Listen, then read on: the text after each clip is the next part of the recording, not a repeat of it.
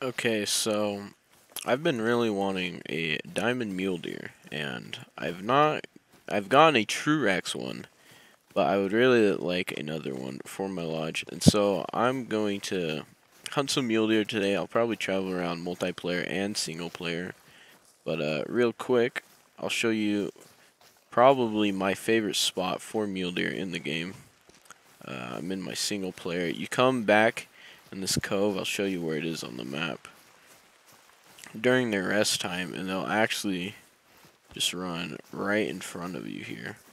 Like that. um, and then they'll go up that hill, so you can actually... Oh, I didn't even see that one. Flee out of here. I guess some of them have already spooked out. But, uh... Nothing really big there yet. But, uh, you can really easily spot everything. You just kind of run back here and they will come like right along this and up that hill. Sometimes they'll come along here instead. And there should be more further back here. If they've not already gone up. And they have not. That's actually a pretty decent four. I'd like to get him. Um, we got some more mule deer coming out of here. There we go. There's the big numbers that I usually see. I would like to get that four though, wherever he went. But uh, I'll show you where this is real quick. This is over here, Casite de Cristal. Uh, on the right side of the map, you got this lake, and it's this cove back here. So I like to run around along the right side of the lake and come back here. Um, we'll see if this four actually ends up running up the hill, like it should or if it already has, oh, it might have already, oh, yep, he's right there. So I'll pull out the M1 and see if I can actually get him down real quick. Um, if he gives us a shot, I'd not take that while he's looking away. Now I don't have him spotted, which is not good. Oh, he's broadside. Oh, got hit by deer there. Uh,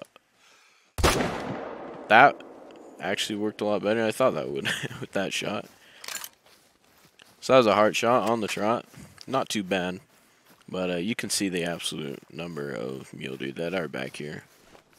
And uh, so I'll pick this guy up real quick and I'll show the score and then we will uh, continue hunting mule deer. Okay, so here he is right here. Nothing crazy special. 260, a pretty good gold. I didn't even realize that it was a rare. I mean, not rare, a gray. My bad. Um, is a gray. Rare type hit him right in the heart. Uh, nothing too special though, so we'll move on. Alright, so I'm actually going back to my spot back here to see if I can uh, get some mule deer. And over there, it's actually a level 9 puma. Uh, judging by the score estimate, it's actually not probably not going to be a diamond, but it is possible. Uh, so, once it lifts its head, I think I'll take it with the M1 right at 300. And that will do it. So yeah, I'm uh, run around the lake real quick, and I'll stop back here to see if anything, and uh, we'll pick him up. Oh, that is just an example of how many deer are actually back here. Uh, right there. Uh, this is the same server as the Puma. But, uh, there's a reason why I think this is the best spot in the game. This is absolutely crazy amounts. Nothing good. Nothing worth taking, but crazy. Okay, our Puma is just right up here, right in front of us. And uh, like I said, I don't think he will make diamond, but he should be a pretty good one. He actually does make diamond right on the dot. Wow. Uh, surprised I actually hit hard there. I was just going for the lungs. Uh, it is also dark red. Shown with his eyes closed. Didn't even know that. Dark red, diamond puma. I'm actually really happy with that. Uh, that is a great find uh, to get while you're hunting for mule deer, and so that's just another benefit of hunting them in the early morning. Um, pumas drink at the same time. So as you're running around the lake, uh, potentially you could find something like this as well. Uh, very happy with that. And uh, we'll move on. Alrighty, so um, I'm out here on Silver Ridge Peaks, and I was hunting their feed zones. I actually have this tent right here set up for uh, elk, because they spawn over there, and if I spawn at the outpost, then you actually uh, don't get the elk to spawn because they're actually too close to it. So I set up a tent across. However, over here, right there, I actually have a melanistic buck. Um, it is just a three, not very big, and it's moving a little bit, almost like it's alert, but actually just gave us a lot better angle. So I've got the M1, and we can just take this right across the lake. And that must be a hard shot.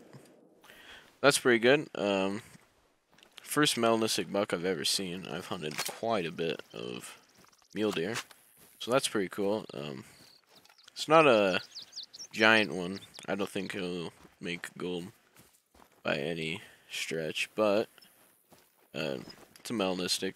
Looks really cool, and uh, I'm very excited to actually pick this up. Uh, this is down bottom right map, down by, uh, let's see, what's this outpost? Wild Turkey Outpost. Uh, quite a good spot, actually. There's actually a bunch of bison feeding right down there, but uh, we'll just go pick up our buck and we'll just leave that one. Okay, so our buck is just right up here, right on the other side of the street. You can see it's outlined right through the bush. And uh, we'll check it out a little bit. Definitely is melanistic, uh, no doubt in my mind. But uh, this is an interesting rack. I wish the uh, points up top like weren't as long.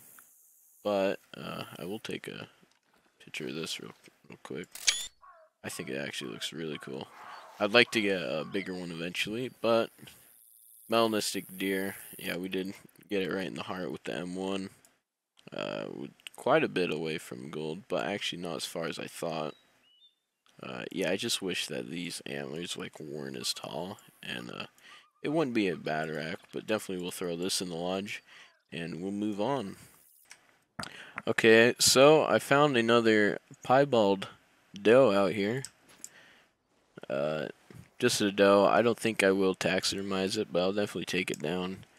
This will be my third uh, why I mean, uh, mule deer piebald doe recently. So uh, take it right there with the muzzleloader, and that is dead. so yeah, um, still haven't got anything too big uh, for the mule deer yet, but another rare, so I will take it out. And muzzleloader makes quick work of the mule deer. And, you know, I'll taxidermize it. Maybe eventually I can use it somewhere. But nothing crazy. So we'll move on. Okay, so unless I find something back here on this last run that is worth taking, I think this will be the end of the video. Uh, hunted quite a bit, but have not actually found my mule deer that I'm looking for. Um, just a few level 3s and a 4 back here. I have gotten a lot of um, legacy uh, diamond mule deer back here.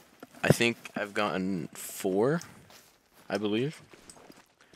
But uh, uh, seems that the true rack mule deer just aren't as uh, abundant. Definitely a lot harder to find. And we're getting charged by a buffalo. So with that, this will be the end of the video. I hope you guys enjoyed. And we'll see you in the next video.